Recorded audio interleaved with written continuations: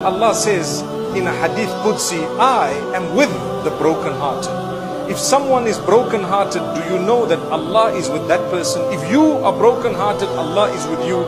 Did you know that when you are broken-hearted, the angels are saying Ameen to any dua that you make? So don't say the bad words, the F's and the B's and, and the S and H's and so on. Don't say that because the angels are saying Ameen if you were to say a good dua at a time of hardship and difficulty and when calamity strikes, you stand a better chance of goodness in the dunya and the akhirah.